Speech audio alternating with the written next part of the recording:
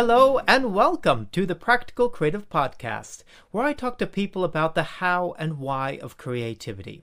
I want to know more about their materials, their processes, what it is that motivates or inspires them to keep creating. And I'm also interested in exploring the practicalities of being a creative person. And in this series of the podcast, I'm exploring the business of creativity, the skills and mindsets creatives use to share, promote, and sell their work. I'm Jeremiah Krage, and in this episode, I'll be talking with Jeff Goins. Jeff is a writer, speaker, and entrepreneur. He's the best selling author of five books, and his award winning blog, GoinsWriter.com, is visited by millions of people every year. And in this conversation, we talk about his book, Real Artists Don't Starve where Jeff lays out principles that any creative can use to move from being a starving artist to become a thriving artist. And we cover a lot in this episode, including how being a starving artist is actually a choice and one that you can change, the importance of thinking like a professional, what it means to be original, and how it's actually easier than you might think, and why it's important to never work for free. In this conversation, we talk about some of the broader principles in Jeff's book, as well as some of the personal shifts Jeff made in order to become the thriving writer that he is today. If you're interested in practical strategies and guidelines to help you thrive as an artist or creative, then there's definitely something here for you. So, you ready to jump in? Yeah, let's do it. Fantastic. So, the first thing is just to ask you to tell us who you are and what you do. Sure. I'm Jeff Goins, and I am a best-selling author. I've written five books, and I also uh, run an online business teaching online courses and having some coaching and events for other writers and creatives to help them succeed. Fantastic. So, what I'm specifically interested in talking to you about is this whole idea of how artists can get more comfortable with talking about money and sales and self promotion. Yeah. So I'm curious to know what it was that motivated you to write Real Artists Don't Starve. Was it based on personal experience and something that you needed, or was it something that you saw that people around you were struggling with? I mean, I think it was both. Uh, I quit my job uh, working as a nonprofit uh, marketer of seven years, um, several years ago. And I did this to become a, a full time writer. And uh, I was successful at that. And people would often ask me questions about how I was able to do that. And living in Nashville, I'm surrounded by a lot of musicians and creatives, as you might imagine. And I just kept running into people who said, Oh man, I'd love to do this, you know, make music, paint, do photography, write. Um, but you just can't make any money doing that. And I was like, Well, you know, I, maybe you can. And uh, I just kept hearing this over and over again from one group of people. You know, we can think of them as starving artists. And then I would run into a different group of people, people who were actually doing that thing. They were making music, they were doing photography, they were writing books, uh, they were sharing their art with the world and making a full time living off of it. And I call these people thriving artists. And it was just interesting because one group of people said, You can never do this. And the other group of people was, was like, Well, I'm doing it.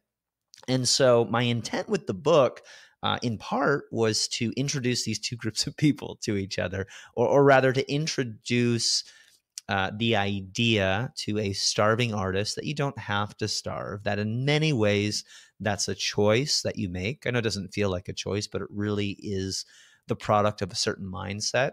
And to me, that seemed to be the, the biggest distinction between, say, myself 10 years ago of being an aspiring writer and today being a best-selling author and a full-time writer uh, is the way that I thought about myself and the work that I did. And it turns out this is a pretty big distinction amongst all the um, thriving artists that I talked to and what separated them from a starving artist. Mm, because I was curious to know, as you were researching the book and, and developing this idea, were there any specific assumptions of your own that you found were being challenged? Any beliefs or attitudes that you were surprised to find that you had that were being shaken up as you were going into the research phase of the book? Absolutely. You know, the book that I wrote before this is, is a book on um, finding your calling, your your dream job. Uh, it's kind of a career book called The Art of Work. And I wrote the first version of this book kind of based on all the things that I thought were true. You know, similar sort of um, impetus for writing it, where I'd quit my job and gone and chased my dream and and succeeded at it. And people said, "How did you do this?" I'm like, "Well, here's how I did it. Here are the seven things that I did." And I read that book, and I was like, "I don't." I don't I don't know. This is true for me. I don't know that it's true for everybody else. And I didn't want to write a book like that.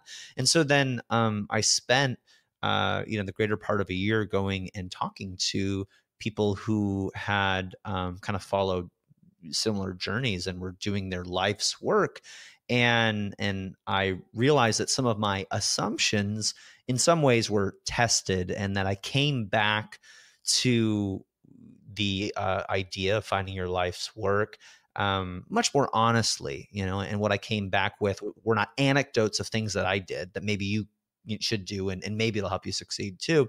And rather i had these principles these things that seemed to work for everyone that i talked to and everybody uh, uh, who had done this uh, whose story I, I, had studied. And so when i kind of went through that process of writing a, a kind of a bad book based on my personal experience and then writing a better book based on other people's experiences which included my own experiences mm. I thought, okay, I'm never going to do that again. I'm never going to assume that I know what other people need to do without really testing those hypotheses. And so when I w- wrote Real Artists Don't Starve, uh, obviously, I mean, anytime you go into a book like this, you've got some level of bias where you think this is how the world works and this is what I believe. But I was always finding ways, trying to find ways to disprove or at least test my own biases. And there were several points in the research phase where I was interviewing hundreds of working creatives in a variety of industries, from you know cartoonists to musicians to photographers uh, to even creative entrepreneurs. And um, there were certain things that surprised me. And the book is made up of twelve rules. Uh, and the idea here is not these are 12 things that I did or that I think you should do, but rather these are the 12 rules that if you follow them, you're going to thrive, and if you break them, you're going to be rolling the dice. You're probably going to uh, you're probably going to to fail. And and it turns out um, that these are the 12 things that almost every thriving artist, creative entrepreneur, author um, ha- has done, you know, throughout history, including today. And one thing that um, really surprised me is the idea that if you're going to become a professional, whatever, that you need to set a precedent that you never work for free. And so that's one of the rules that, that a lot of people struggle with, myself included, that you can't give away the farm. And, and a lot of people think this is a really good marketing strategy, and it's not. Uh, it's actually a really good way to set a precedent that you work for free forever, and it's it's often a hard precedent to break. And it's not not to say that some people don't start out offering parts of their work strategically for free to certain people, but in the book I actually argue that that's something different than working for free. And many creatives, especially musicians here in Nashville, just do gig after gig, job after job, project after project for free. Uh, without getting really anything in return. They're doing it for quote unquote opportunity. And if you don't know exactly what you're getting out of this experience and, and know how you're going to strategically leverage it, and you're doing this over and over and over again, chances are you're being taken advantage of. Mm, I think yeah, I think that's an interesting point that you're making that you're you're not necessarily working for money, but you are working for something. That you you're seeing something. that there's That's right yeah that there's there's something on the other side of the equation. It's not just giving it away for free. Yeah. And i think that's an important distinction because sometimes there's a reward that's not financial. And the book is full of fantastic examples of people who exemplify the different principles that you're talking about. But with this one specifically i'm curious to know whether there are any uh, uh, guidelines for determining what is a good exchange or, or trade or payoff. Because so often particularly as artists, we're told that oh, could you do this for free because it's it's a good opportunity to be seen in X gallery or by Y producer. Right, right. But that doesn't necessarily mean that it will actually lead to anything. So is there a criteria for measuring the the value of what may be on the other side? Yes, I think so. And the criteria, the criterion is um, how you feel afterwards. So if you do something generous and you feel good afterwards, then that was probably a good exchange. Uh, I'm not against philanthropy. I'm not against generosity. If you want to give away a piece of art, some of your work, some of your time, because you are genuinely trying to be generous and you feel great after that exchange, good. Do that. That's great. But if you find yourself in the position that many, many people do starting out, where you're doing lots of things for free in hopes that it's going to lead to something, and people are telling you this is good exposure, this is good opportunity, but you cannot find a way to quantify that or connect what you're doing for free back to something that isn't for free that's going to translate to value to you at some point um, in all likelihood, you're going to get bitter. You're going to get frustrated. You're going to blame other people. You're going to, oh, they're taking advantage of me. And the truth is, you're the problem. You're letting this happen to you. And eh, I'm not giving people license to be stingy with their art. That's not what I'm saying here. There are times when it makes strategic sense to make something and put it out there in a place where everybody can see it. Say, you know, uh, a blog post, something on Instagram, something in a gallery where people can actually see your art and find out who you are, and that can lead to paid work later on. But you need to be able to connect those dots. And if you don't know how to connect those dots and you're doing this, again, you may do this once or twice or three or four or five times.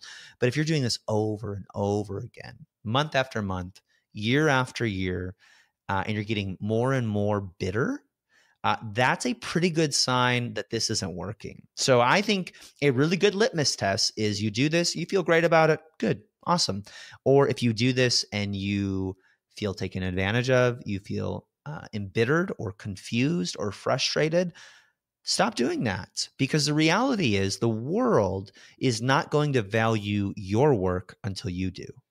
Yes, that's really interesting. And I've got lots of thoughts on that, specifically around this idea of needing that we need to value our own work. And I'm curious to know whether, since the book has been out, you've found any resistance to that idea, particularly amongst artists and creatives. Absolutely. I mean, the title is Real Artists Don't Starve. So if you're a starving artist, all of a sudden that attacks your identity, right?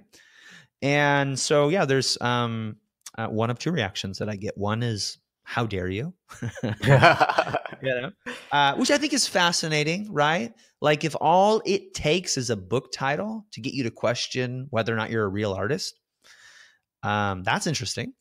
And the other um, side of the coin, uh, the other reaction that I get is, uh, "Thank you. This is absolutely right."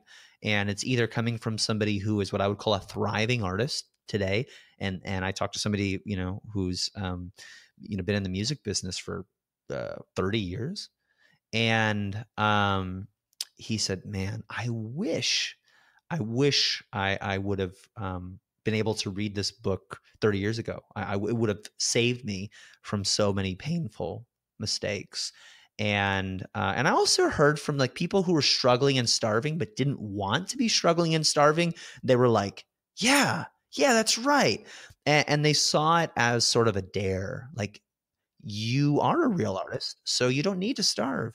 You know, I, I think of it in the same sense where like Steve Jobs and his team of programmers are working on the first Macintosh computer, and it's already 18 months uh, over deadline. And they're like we need to do this we need to do this and he's talking to a designer some creative and and they're talking about a few more months of production to finish the thing and he resolutely says as he often did he goes real artist ship. And so they shipped the mac you know? And, and, it wasn't without you know bugs but it obviously revolutionized the uh, pc uh, industry and um yeah so like i don't think in that moment the guy's like oh you know steve doesn't think i'm a, a real artist he's like you're right we got to do this. And so that has always been the heart and spirit of it. But you know, people take it personal, and again, I I think that's interesting. But um, my intent with the book was always to just say you've got a choice. I'm not trying to label anybody, uh, but these are the things that your favorite artist, musician, creative they did this even if they said they didn't do it and that, that's been kind of a fun process of digging into the history of you know, well, Picasso or Van Gogh or Michelangelo, uh, you know, these people that we think I don't know, uh, we think of them as like ideal or idealistic uh, artists and creatives. They had some of this savviness to them and and there were a lot of these principles and strategies at work. Whether they were conscious or unconscious i don't know but my point is with the book the if you're a creative these are the things that you need to do to set your creative work up for success. And if you don't do these things is it possible that you can be the exception to the rule? Sure, of course, there's always a possibility of that, but you are stacking the deck against you, right? In in favor of uh, the opposition. And I mean, if you're a writer, musician, uh, creative person, you you don't need any more odds against you. You're trying to stack the deck in your favor. Mm, absolutely, absolutely, and and I think that's really interesting. This this notion of what it is to be a real artist, and it, it's something that you do fantastically well right at the very beginning of the book, is that you start to unpick the mythology of this romantic notion of, of what the starving artist is. That it's something to aspire to, and and you look at its historical roots going back to La Boheme and the origin of that, and putting all of that in contrast to someone like Michelangelo, and uh, the fact that he was actually incredibly wealthy yep. and creating a model of the artist as entrepreneur or as business person. And and that he was taking his work that seriously that he was willing to elevate it to the level to which he felt it it should be perceived which meant that it was not just a trade but something that had to be appreciated at a higher level. And that he even forced people to acknowledge that.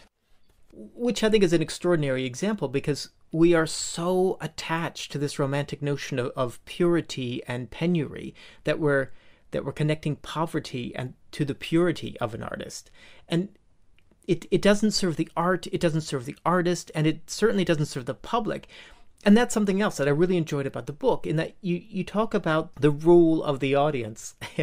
and actually, there's a quote of yours here that I wrote down, one of the many from the book. And it is before art can have an impact, it must have an audience. And I thought that that was just a fantastic acknowledgement of the need for, for promotion, for self promotion, of having to put your work out into the world. And you couple that very nicely with the idea of, of practicing in public. Yeah. That if you're not sharing your work, then your work can't touch people, it can't move people, it can't affect people and that there's a benefit to the artist as well in that by sharing their work they're getting feedback right. on their work. And it's almost a, a, synergistic thing. By sharing the work the artist is growing and and the world around them mm-hmm. is growing as well. Which leads me to an interesting question which came from a listener to the podcast. I, have been asking listeners for questions. And this question is about plagiarism. Yeah. and the concern being that there, there's a lot of guidance that artists should be sharing their work in progress, particularly on Instagram or Facebook, as a way of bringing people into the process and, and helping to sell the work because people become involved in what the artist is trying to do or achieve and, and they start to value the time the artist is putting into their work. But this particular listener is concerned that this will open up to plagiarism. It'll be too easy for someone to copy what she's doing and, and taking her ideas. So I'm curious to know if you have a, a view on on that specific question on sharing your work and becoming vulnerable to idea theft versus sharing your work and growing as an artist and growing your audience? Yeah, I have a few thoughts on this. One, the answer is yes. Anytime you practice in public, anytime you share your work in a public setting, uh, particularly the internet, uh, it opens you up to the possibility, uh, maybe even the likelihood, that somebody's going to steal your intellectual property. They're going to steal your ideas. Um, yep, that that can happen. Probably will happen. Um, but this is not your biggest enemy. This is not your biggest obstacle, which is if I put my stuff out on the internet, people will want to steal it, and therefore I can't make a living off of it. Your biggest enemy is not that people would steal your ideas. Your biggest enemy of any creative artist, author is people not knowing who you are. It's anonymity. So, first of all, it's a little bit um, egotistic, and I mean that in the kindest way possible because I I think these things too. To go, I am, you know, the fifth billion person, you know, to post something on the internet, right? And all of a sudden somebody's going to notice me and they're going to want to steal my work because just by virtue of putting it on the internet doesn't mean that people are noticing you right? Sharing your work just like you know, that, that's something that I think a lot of people struggle with. Is like I have a website, I have a blog, I have a platform now. People will notice me, and that's it, that's just the beginning um, of getting your work noticed. So yes, there is a cost to getting noticed, which is that people may steal your work from you. Um, but that cost is far less than you keeping your novel in your sock drawer, your you know songs in a notebook, and your big ideas hidden from the world. And that is um, like that that's the thing I would be afraid of is not somebody stealing something from you someday, but the world never experiencing your art. And, and then the last thought I have on this, which may not make people make some people not happy, which is um uh what's so wrong with people stealing your ideas? the whole idea of copyright is a very new idea in the history of making things, particularly art.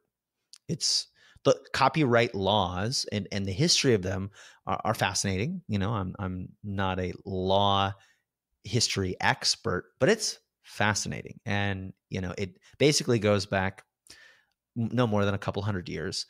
And uh and so and you see you're start we're starting to see the negative effects of this, where you've got, particularly in the music industry, you've got uh, artists suing other artists, going, "Hey, this song sounds like my song," and look, that's that's very different than me being a college student and uh, literally copying uh, some book or paper word for word, paragraph for paragraph, paragraph, and and and uh, putting it in a, an essay uh, and and submitting it to my professor, not citing any of those, those, sources, passing that off as my own work without any editing, remixing, uh, or referencing, and saying this is my work. That is plagiarism, you know, flat out. But you know, a, a chord progression with different words and slightly different melody that kind of sounds like a Tom Petty song, and now I'm going to sue you. I don't know about that because what we know about creativity, and I argue this in the book, is that creativity is really just curation. It's taking the same source material that we all have and it's doing something different with it. As the historian Will Durant once said, nothing is new except arrangement. And uh, that is the work of an artist. That is the work of an entrepreneur. That is the work of anybody who is sharing quote unquote new ideas or original work with the world. You are taking all the stuff that came before and you're doing something new and interesting with it. And so there's something important and powerful about somebody borrowing a part of your idea and borrowing several other you know pieces of ideas from other people and then uh, remixing those and rearranging those and saying see look at this look what i made with this and it actually ends up being something new, even though all the parts and pieces come from existing works. So am I am I for plagiarism? Absolutely not. No, I mean that's it's a horrible thing when you're literally copying word for word, piece for piece, somebody else's work. But there is there a little bit of a gray line between, you know, that and doing this thing that we call original work. Uh, I, I, think so. I mean, I, I think that it looks, especially early on for a creative person, it looks a little bit like copying. You know, your writing sounds a lot like your favorite author. Your songs sound a lot like your favorite musician. And I think that is a necessary part of the process to get to your own unique style.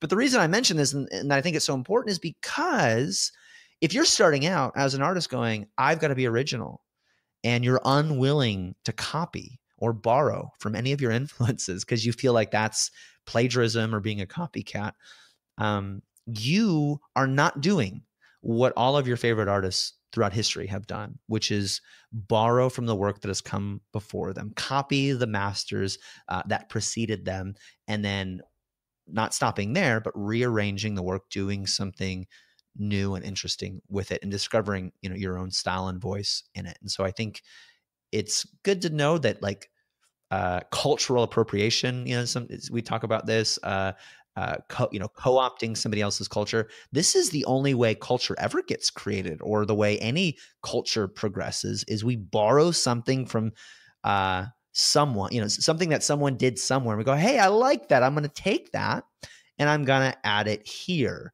uh, in this new mix, in this new scene or space. And with these new ingredients, it's going to create something unique.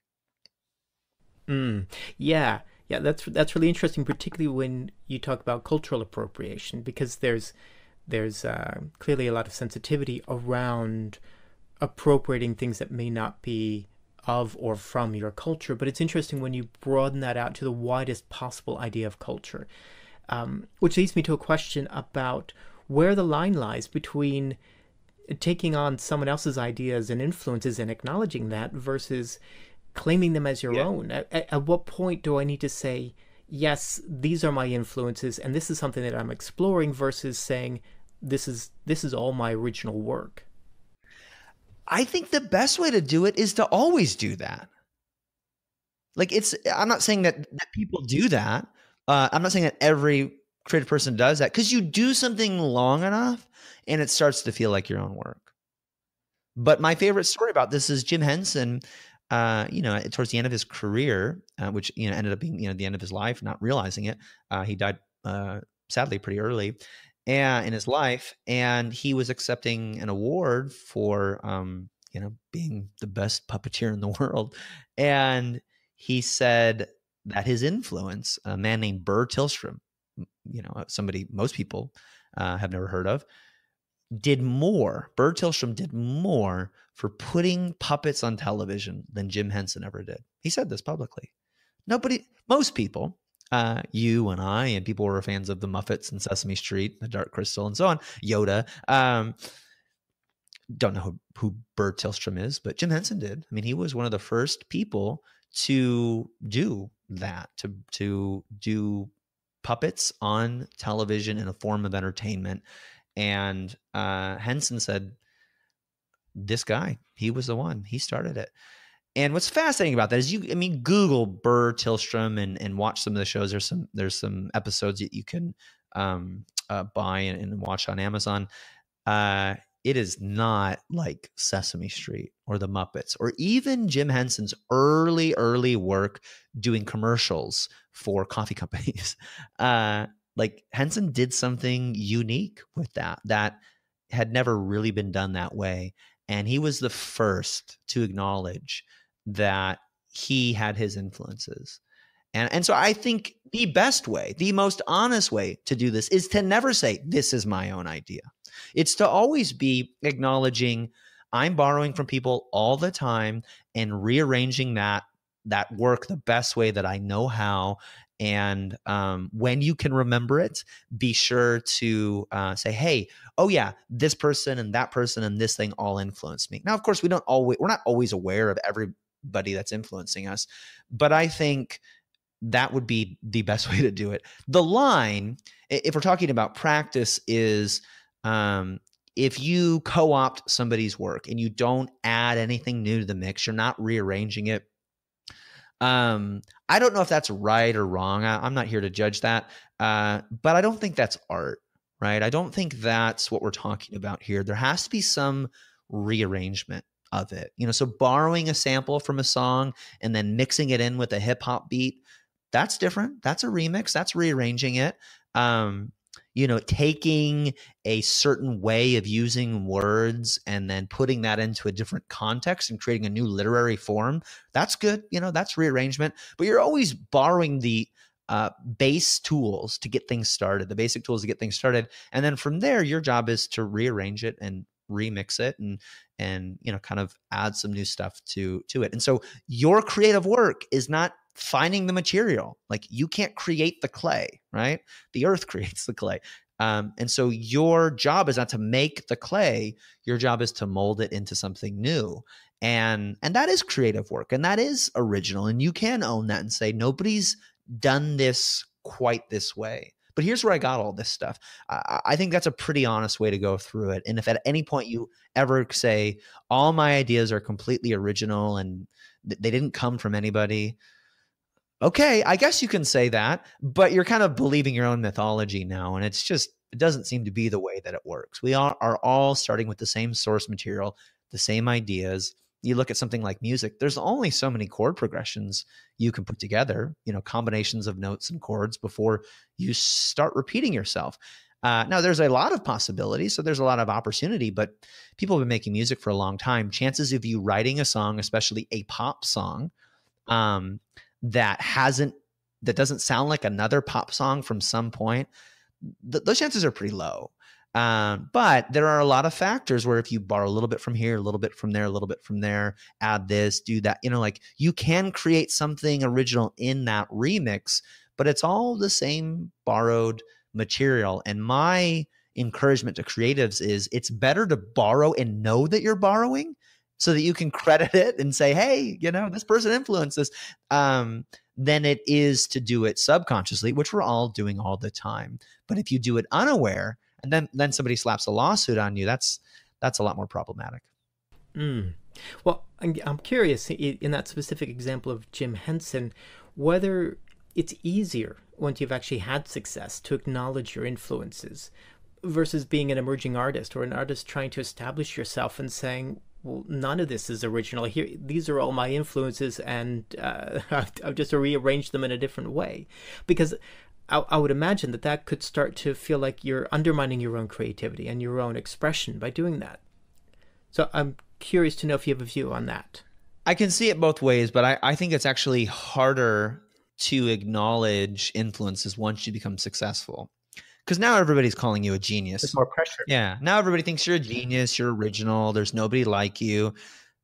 I mean, I, I hear this sometimes. Oh, I love your voice. I love the way you say things. Nobody else talks about this the way that you do. Gosh, that feels pretty good. Uh, I I have a vested interest, both my ego and my business affairs. I have a, a vested interest in believing that's true. And, and because if I believe it, other people are going to believe it, and then and I can sell that better than no, no, no, no. You don't understand I'm just trying to do what this person's doing and they're doing it better. And I just, this is the best that I could do. Um, and I, but I think there's something powerful in owning that. I, I remember uh, listening to an interview with uh, Bono where somebody said, Hey, how did you get that U2 sound? You know, you know, the sound that like bands have been trying to copy for 30 years, including Coldplay, you know? How'd you get that sound? And Bono goes, you know, uh, there were all these hair bands and all these, you know, rock, you know, heavy metal bands and rock bands in, in the '80s, and we were just kids. We were teenagers. We weren't that good, and um, we were trying to sound like them, but we just weren't good enough. And this is what came out. Fantastic. Yeah. Yep. I I love that. that I'm like I can relate to that guy. I can be that guy. Because what he's saying is own your constraints, mm. own your limitations. And certainly, you know, there's another track which is just try to be the best in the world at such and such. That's that's fine, you know, but there's only like one person who gets to do that in every category. Uh, versus trying to be the best in the world at whatever it is you do and owning it and doing it your way. And you listen to a U2 song, they're all kind of the same and I, I, love their music but there's a sound there's a uniqueness there's simple chord structures uh, you know, the Edge isn't like shredding. You know, he's just playing these very simple, beautiful lead guitar lines, and it and it works. It's incredible. It's amazing. Um, but imagine what would have happened if you know U2 was trying to sound like uh, you know uh, the Scorpions or, or Van Halen or something. Yeah, uh, yeah. Instead of just going, I guess we'll just do this because at some point you realize I am trying to copy somebody. I'm not them. I'm not going to do it perfectly. This is what came out. What if I just started owning that? And in that sense, you are kind of finding your unique style. But again, it's it's borrowed from other people. So yeah, I mean, I think in some ways it is easier as a successful person to believe the mythology around your success instead of admitting your own um, challenges. And as a creative person, I really like hearing that. You know, I like hearing gives me hope for you know my own growth. Um, and I think I think that it's counterintuitive in, when you're starting out to realize all you can do for you know the first few years is probably copy other people and learn from from that experience. But if you own that, if you're the underdog, a lot of people are going to want to help you, right? You now have become their apprentice. You were the case study. And this is a great way to get your heroes and you know uh, would be mentors and people that you look up to to give you the time of day, not by sort of puffing up your chest and saying I know all the things, but by saying, "Hey, I am learning from you. You help me do this. Is there anything else that you know you want to tell me?" And you know, going back to Michelangelo, this is this is how he uh, found himself as a teenage boy in the house of the wealthiest art patron in the Renaissance, Lorenzo de' Medici, by simply going, okay, I'm teachable. I want to listen. And he was actually known for being a pretty stubborn man. But there's a story about him working in, in the studio of a, of a of an artist where he was the apprentice, uh, a guy named Domenico Ghirlandaio. And one day, this man is walking through the garden. All these students, all these apprentices, were making statues, and Michelangelo was making a statue of a faun and uh, this man walked by and said, uh, "You know, um, what what are you doing?" He says, "I'm, I'm, making a statue of a of a faun, and um, it was supposed to be an old faun." And he said, "Well, if it's an old faun," uh, the man walking around said, "If it's an old faun, maybe he should be, you know, he should look a little bit older, be, you know, missing some teeth or something." And then he just kind of kept walking on. The next day, the man comes back, and the faun looks older. He's missing some teeth, etc. And uh, he goes, great. And he immediately goes to Domenico Ghirlandaio, who's the artist in charge, and he says, I want that guy to come to my palace and I'm going to take him under my wing. And that was Lorenzo de' Medici. And that exchange led to Michelangelo growing up in a house of future princes and popes and you know some of the wealthiest people in the Renaissance, all of whom became his patrons, simply by him going, I'm teachable. I don't I don't pretend to know it all uh, but I'm here to learn. So I think it's counterintuitive because when you're starting out, you want to prove that you're legit and you're an expert and you're original. But every professional can spot an amateur simply because they're trying to act. They're trying to act like they're not an amateur. They're trying to hide it. You know. Anytime you meet somebody who's uncomfortable with themselves, what are they trying to do? Not look uncomfortable, you know? And it's just so obvious to everybody, but you know, the person themselves. And I think again, it goes back to just own it uh, and try to be honest about wherever you're at in the process. And that is almost always more endearing than it is damning. Mm, that's interesting, as well as actually being liberating, because then you're not trying to be something that you're not. You're not. You're not trying to be original, as you say. You are, but you're not striving for that because you're you're acknowledging that this is a process, and part of the process is this period of learning, of right of borrowing and reassembling. And, and and that's inspiring because it gives latitude to be less original and to to to actually explore more. Because I think there's often a sense that if I'm going to be unique and original, then I have to have that already. I have to I I have to mm-hmm. start now and this is it. This is my unique voice. But then you're kind of shortcutting the process of developing and growing and discovering because you're you're leaping to the end without going through the twists and turns of of that exploration and learning of what that unique vision of, of what is your unique vision and voice i've got a couple of questions about the book yeah mm-hmm. it's been out about a year now mm-hmm.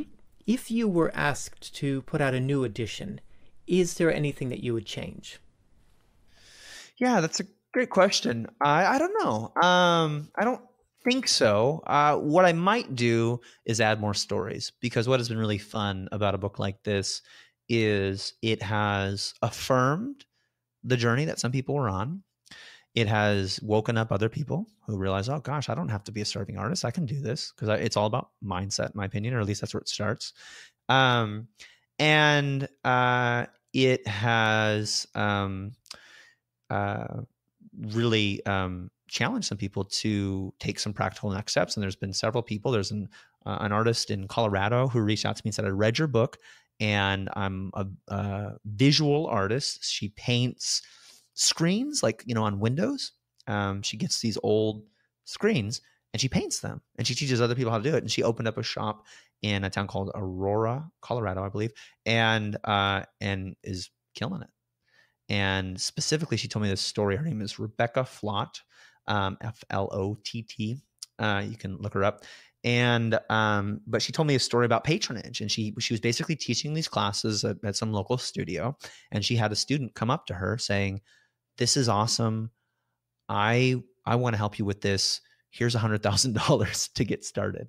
Wow. And uh, yeah, like that's a cool story of finding a patron. How did she do this? She was practicing in public. She was sharing her art in the same way that Michelangelo was, you know, out in this field. And somebody just happened to be walking by and they go, I like that. I believe in that. I want to help. Um, so I would tell more stories, you know, maybe an appendix or something of uh, stories of, of artists coming out of the woodwork, um, sharing their experiences. Uh, you know, because the book kind of gave them permission to do that, or, or some people who actually read the book and applied it and have experienced great success as a result of it. That's been, for me, the most gratifying part of it for sure. I also have a question about you personally. I, I follow your blog, and you've written about struggling to be a writer. Not now, obviously, but um, previously you were struggling to make things work as a writer until you claimed the title of writer. And you write about that being one of the first steps to say, I am a writer, this is what I do. And then and then things started to shift for you. And I'm asking because I think that's something that a lot of creatives struggle yeah. with because the word artist or, or even writer is so romanticized, it's so lauded, it, it's so built up in our minds that it becomes hard to claim that title because it it comes with so much so many expectations.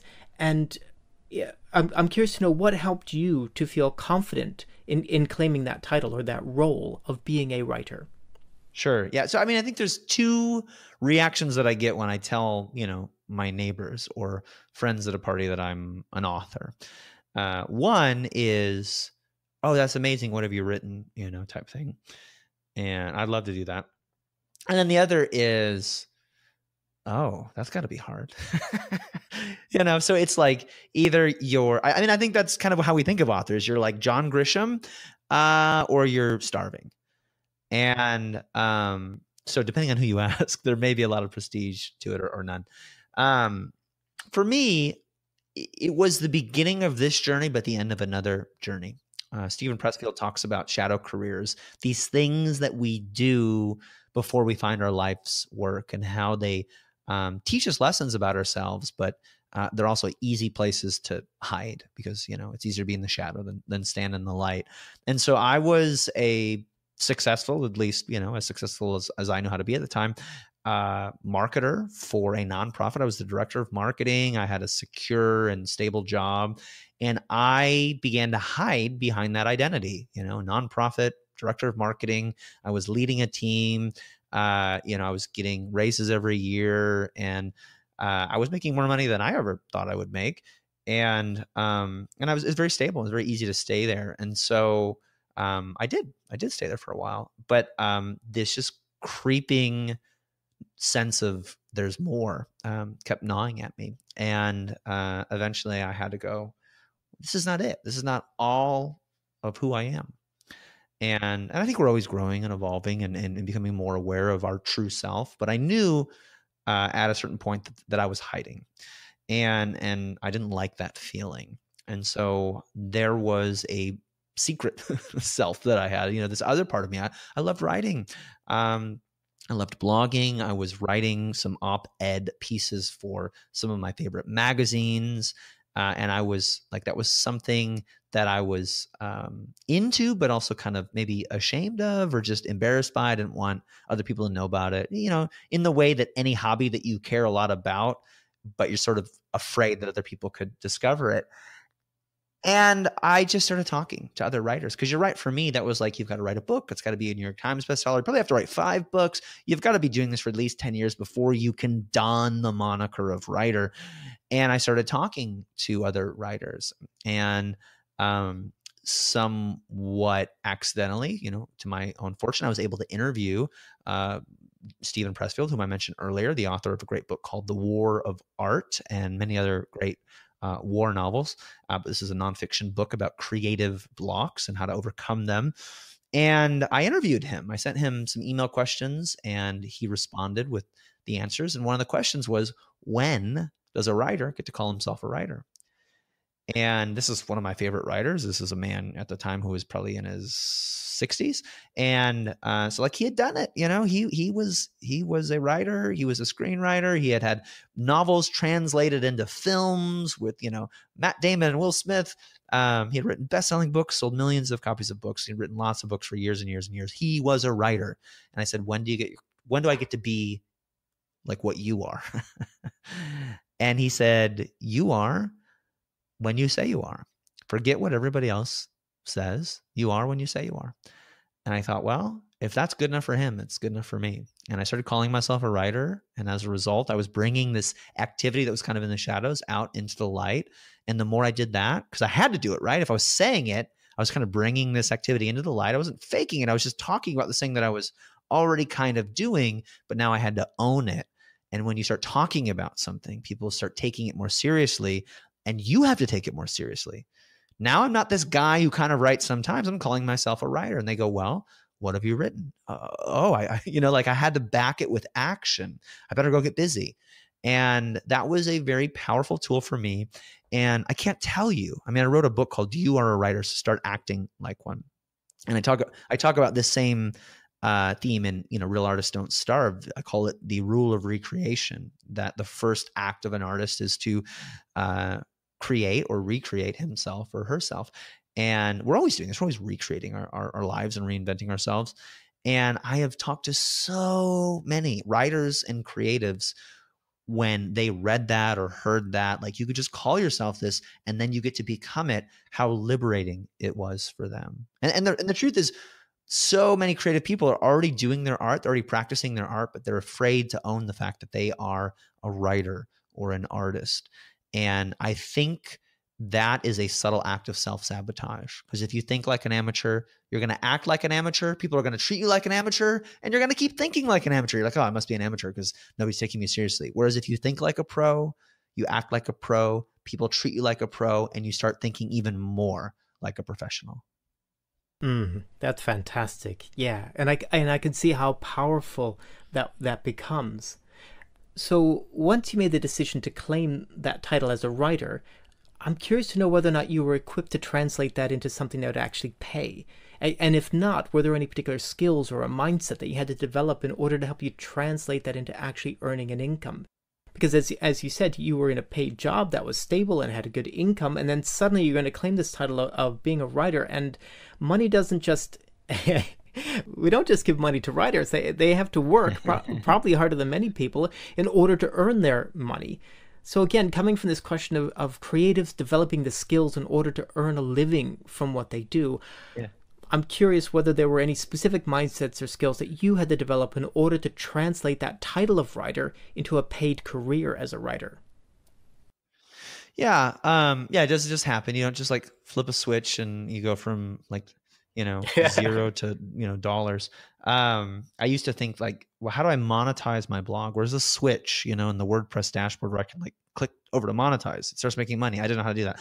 Um, yeah, so I, I think that the basic um, rule here and in the prog- the progression of the book is basically this: you start with mindset, then you move to market, then you move to money. So you have to think like a, a, a writer or an artist you have to get other people to notice the work that you're doing and and build an audience and then you ultimately have to start charging for your work. Um, so mindset uh, uh, market money. So um, i think where there's an audience there's an opportunity to make money. Now the way that many writers and creatives um, mistakenly go into this is they think this is what i do and you should pay me for it and that's not the way business works. Uh, that's actually not even the way the art world, the fine art world works. Um, money uh, almost always follows demand. So you have to find out what do people want. Now, is it possible to find a patron who's just going to pay you to live and exist and practice your art? Sure, but uh, it's that's unlikely. It's not um, the norm these days, and there is a much greater opportunity to find a niche audience whom you can serve with your art in some way uh, and get paid for it in a way that is both gratifying to you and adding value to them. So, for me, in short, I grew an audience. um, you know, several thousand email subscribers and 10,000 and 20,000, 50,000 and so on. Uh, and I realized these people probably want something and I can probably provide something of value to them that fits with my skill set and passions. I just need to find out what it is. And, and I talked to a, um, an improv actor who was doing these um, uh, these comedy nights at these local theaters, and he was losing money every night. Uh, sometimes making a profit of a few hundred dollars because he had to rent out the theater, sell tickets, get people to come, and he was charging like twenty bucks a head. It was just hard.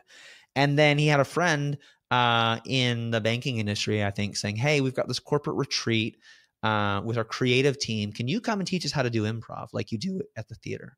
And instead of you know paying twenty dollars per person, we'll pay you five grand to do this. And he goes, like the same way I do it at the th- yeah, same thing you do, just do it over here.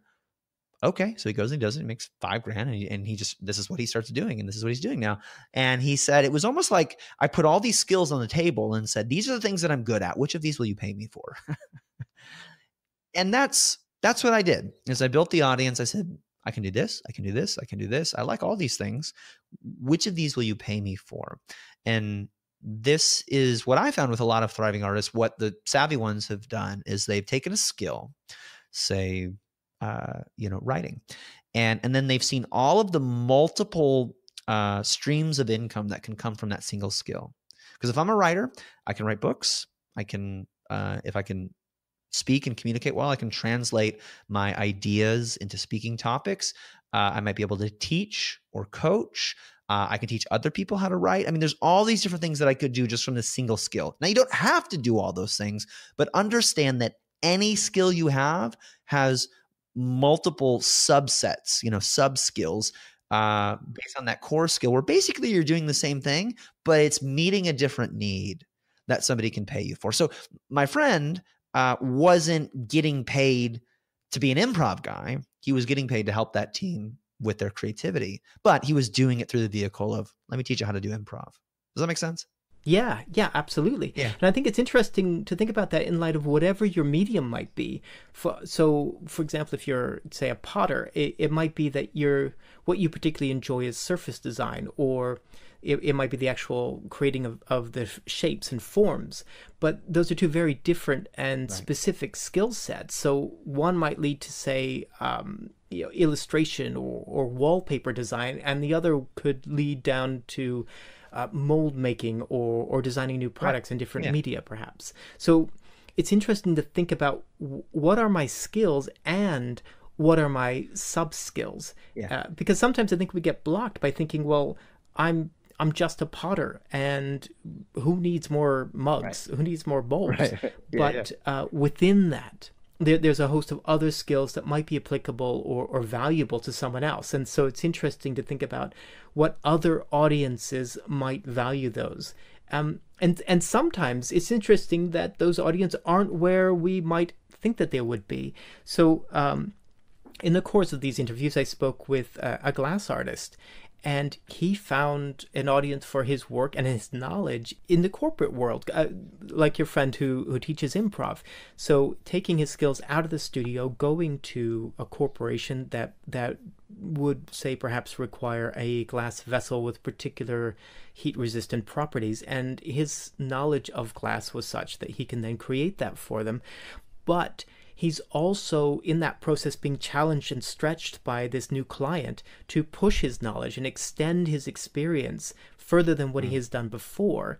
And then he can take that back into the studio and apply that to his practice and his next project. Mm-hmm. And I think that's one of the things that I'm finding particularly exciting about these conversations about taking your skills as an artist or creative and and finding a way to make money from it is that it doesn't have to be a purely transactional experience. It doesn't have to be I've made this, you've bought it for that, and that's the end of it. It but actually that it can be synergistic because by engaging in the process of sales or marketing or or finding collaborators, you're actually enhancing and developing your practice. Which is really exciting because it moves beyond just being a business and it actually becomes something that feeds you as an artist, that helps you grow as an artist. So, Jeff, I have one last question for okay. you, and that is just what's next? you, you've you've written five books. You've explored and challenged this whole idea of the starving artist. So, what's next for you? Where, where do you go from here? Uh, good question. Uh, short answer is I don't know in terms of like next book. I'm, I'm working on a few things right now. I, I, have a program for how to write a book that um, I've been working on for um, you know months now. That that's coming out an online course on uh, how to write a book called Write a Bestseller, and um, I'm ghostwriting a book with a friend. So there are some things that I've learned about the book writing process that I'm trying to apply to other people to see if these principles work for others. And so far, so good. You know, it's working well. Um, yeah, and and I think, uh, and then you know, maybe later this year I'll, I'll start working on the, the, next book for me. But um, always got stuff to work on and uh, uh, having a good time seeing um, how Real Artists Don't Starve continues to reach new people. Um, and I'm having a lot of fun with podcasting. So that's been probably my main passion passion project right now is just enjoying the medium of audio and trying to get better and better at that and find um, uh, more creative ways to express myself, you know, through that medium versus just writing. It's been a lot of fun. Ah, how exciting. So, before you go, is there a creative challenge or an action step that you'd like to propose for listeners? Something that they could think about actually doing that might, uh, as they're engaging with this whole notion of, of uh, maybe transitioning from starving artist to a thriving artist? Yeah, I think I have two. One would be, you know, if you've done one, you can do the other. Um, one would be to practice in public. This is the thing that um, separated uh, amateurs from pros, um, meaning that if you wanted to make a living as an artist, at some point you had to be willing to put your work out there in public for everybody to see. Uh, I spoke with a fine artist who uh, did this every day for a couple of years before she got her first commission. Uh, and she was uh, using Flickr at the time. She was doing a new photo of uh, a work in progress, a piece of art that she was making. It wasn't necessarily finished, but she just take a picture of it and put it on Flickr. And so she was practicing in public. People began to uh, notice her and follow her. And, and today she's a well-known illustrator, fine artist, and author. Her name is Lisa Congdon. And it all started with a daily practice of sharing her work online. Uh, I know another uh, fine artist uh, who lives in Indianapolis who does this with Instagram, posts a new painting on Instagram, and every day uh, now he, he never says this is for sale, and people go, "Hey, I want to buy that," you know, and it's a painting for you know four or five hundred dollars, and and he sells almost a painting every day doing this. He's making a great living simply practicing in public. Uh, so fascinating what can happen if you just start sharing your work uh, with the world. And obviously, there are examples of, you know, back in the day, bands putting entire albums on MySpace or even Spotify and just figuring out how can I get an audience so that I can connect it to, you know, my business. And uh, as we mentioned before, that's very different than simply saying, here's my work and it's for free. Uh, you know, if you're building an audience, you're getting noticed so that you can sell them something. That's a good thing.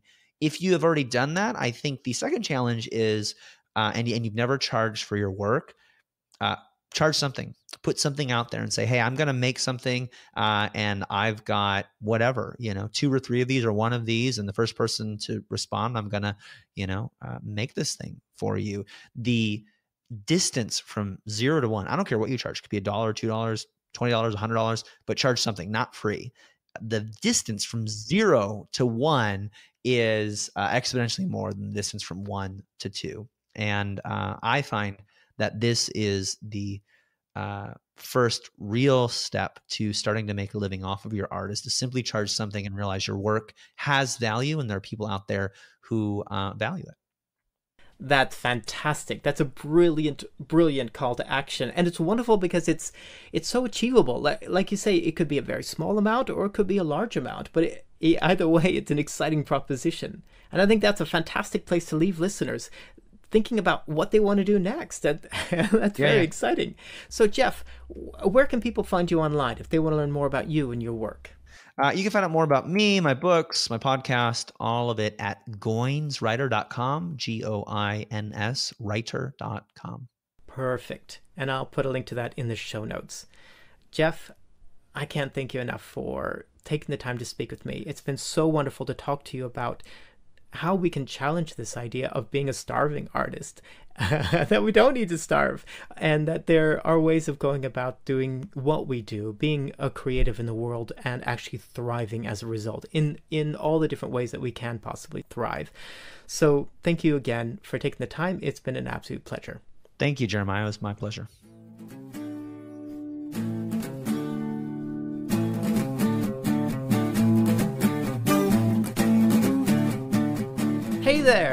Thanks for taking the time to listen to this episode of The Practical Creative.